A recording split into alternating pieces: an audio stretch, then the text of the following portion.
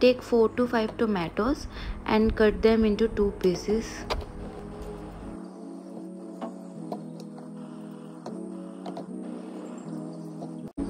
And I also like to add small quantity of ginger in it. Okay now I am figuring out how to put my tomatoes into the bowl. Anyways somehow I managed to uh, do it. And now we'll boil it in one glass of water for 10 minutes so now that we are in hostel we can utilize that 10 minutes in studying. So now i'm peeling off the skin. You can do it after cooling down the tomatoes. But as we are in hostel and i have no patience to wait for them to cool down so i'm doing it. And voila!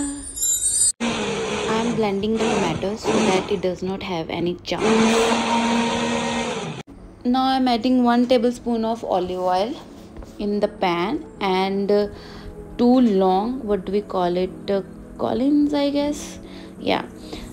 Uh, and now I'm gonna add my puree into the pan and wait for it to come to boil.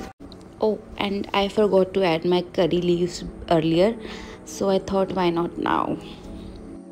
Now I'm adding some salt into it. I have also added some vinegar uh, green chili and black pepper into it uh, off the camera because I'm holding a camera with my one hand and it is very hard to um, open the vessels.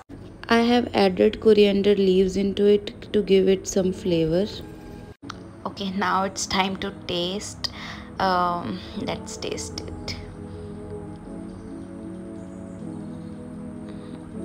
Oh yeah tastes so good.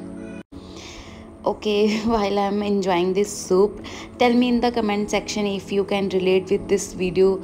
Also subscribe to my channel and hit the bell icon to see my next video. Thank you so much for watching. Bye bye